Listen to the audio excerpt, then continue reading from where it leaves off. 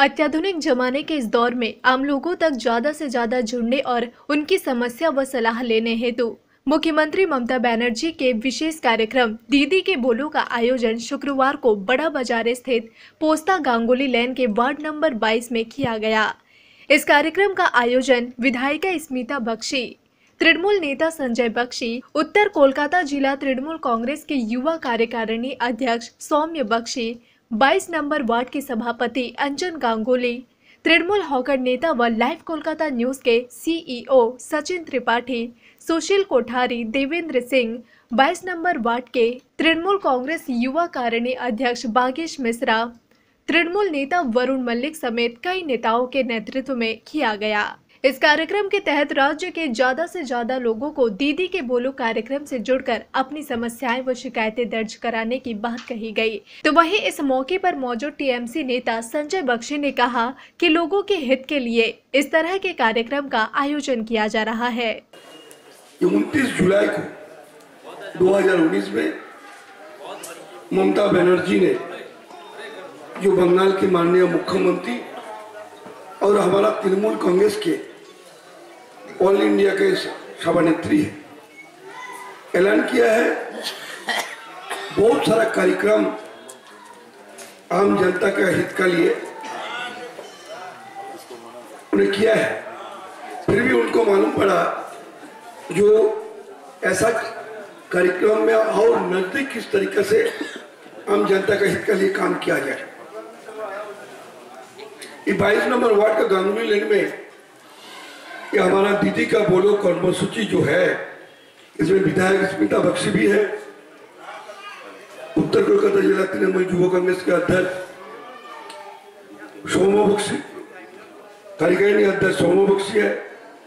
तमाम हमारा साथीगण यहाँ पर उपस्थित है। अब जब देखते हैं, दीदी का बोलो, हमारा कार्यक्रम में उपस्थित मेरा साथीगण कर्मी भी नेतागण भी उपस्थित है। और आप लोग सब है यहाँ का जो जन हो गंगुली में रहने वाले, पोस्ता अंचल में रहने वाले, काफ़ी संख्या में आप लोग उपस्थित हुए हैं। ममता बनर्जी ने 2011 में बंगाल का भार संभालने का बाद मालूम पड़ा है कि किस तरीके से आम जनता के हित के लिए काम करने पड़ेगा। इस मौके पर विधायिका स्मिता बख्शी ने भी दीदी के बोलो कार्यक्रम में ज़्यादा से ज़्यादा लोगों को जोड़कर अपनी समस्याएँ दर्ज कराने की अपील की। लास्ट आप लोग एमपी इलेक्शन देखे हैं, किस तरह से हम लोग का जो आशा था 2011 परिवर्तन का बाद से मामाटी मानुष सरकार पश्चिम बंगाल में जिस तरह से आम जनता का सुविधा को लिए सुख दुख में रह कर काम कर रहे उसका बाद भी 2019 का रिज़ल्ट देखकर दीदी का मन में हुआ है जो हम लोग आम जनता से दूर चला जा रहा है। इसलिए ये प्रोग्राम का सूचना किया था। जैसे हम लोग और भी आप लोग का संग में मिलने का लिए कोशिश करें। सामने आप लोग भी आकर हम लोग से बात कर सके अपना अपना प्रॉब्लम बोलिए, खाली प्रॉब्लम नहीं। किसी का कोई सुराह रहता है, जो ये काम करने से और अच्छा होगा, वो भी आप लोग बोल सकते हैं। तो वहीं इस मौके पर मंच को साझा करते हुए तृणमूल हॉकर नेता व लाइव कोलकाता न्यूज़ के सीईओ सचिन त्रिपाठी ने भी इस कार्यक्रम के मुख्य उद्देश्य की जानकारी देते हुए कहा कि राज्य के लोग निर्भीक होकर अपनी समस्याएँ इस कार्यक्रम के माध्यम से दीदी तक पहुँचा सकते हैं। बहुत सारी उपेक्षाएँ हैं। बहुत सा बात वो कहना चाहते हैं। लोगों को बताना चाहते हैं, दीदी से कहना चाहते हैं। तो मैं यही कहना चाहूँगा कि निर्भीक होकर हमारे बीच में हमारे सौम्य बख्शी जी बैठे हैं, कुछ ही क्षणों में हमारे बीच में, हमारी विधायिका, स्मिता बख्शी जी भी आने वाली हैं।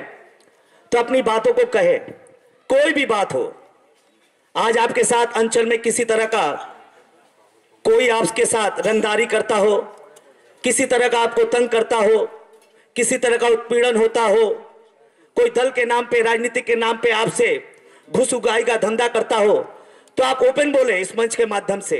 यहाँ पर हम सभी प्रतिनिधि यहाँ बैठे हुए हैं आपकी आवाजों को सुनने के लिए, आपकी बातों को सुनने के लिए। और ये प्रत्येक वार्ड में किया जा रहा है, क्योंकि ये उत्तर कोलकाता जिला है। सोमे बख्शी के निर्देश पे इस कार्यक्रम को किया जा रहा है। विधायिका के नेतृत्व में किया जा रहा है, दीदी के बोलो कार्यक्रम। बहुत से यहाँ पे लोग हैं जो अपनी बातों को कहना चाहता है। मैं पुनः गुजारिश करता हूँ कि अपनी बातों को हमारे समक्ष रखें। उत्तर कोलकाता जिला तृणमूल कांग्रेस के कार्यकारिणी अध्यक्ष सौम्य बख्शी ने भी कार्यक्रम को संबोधित करते हुए अपनी बातें रखी মমতা বন্দ্যোপাধ্যায় আমাদের নেত্রী এবং মমতা বন্দ্যোপাধ্যায় পশ্চিমবঙ্গের দায়িত্বে আছে সুতরাং পশ্চিমবঙ্গের সাড়ে ন কোটি দশ কোটি যে মানুষ সংখ্যা সে গোটা মানুষটারই দায়িত্বে মমতা বন্দ্যোপাধ্যায় এখানে কোন ওয়ার্ডে কোন কাউন্সিলর কোন রাজনৈতিক দলের কাউন্সিলর সেটা বড় কথা নয় আমরা চাই আমাদের দলের পক্ষ থেকে আমাদের যারা যাদেরকে দায়িত্ব দেওয়া হয়েছে তারা সবসময় মানুষের পাশে থাকবে এখানে কাউন্সিলর অন্য রাজনৈতিক দলের হতে পারে, কিন্তু এখানকার বিধায়ক আমাদের দলের, অর্থাৎ মমতা বন্দ্যোপাধ্যায়ের আশীর্বাদ ধন্য জনপ্রতিনিধি। সাংসদ আমাদের দলের, তিনিও মমতা বন্দ্যোপাধ্যায়ের আশীর্বাদ ধন্য। সুতরাং সবারই আদর্শ, মমতা বন্দ্যোপাধ্যায়ের আদর্শকে আদর্শ, আদর্শতে আদর্শিত হয়েই সবাই পথ চলছি।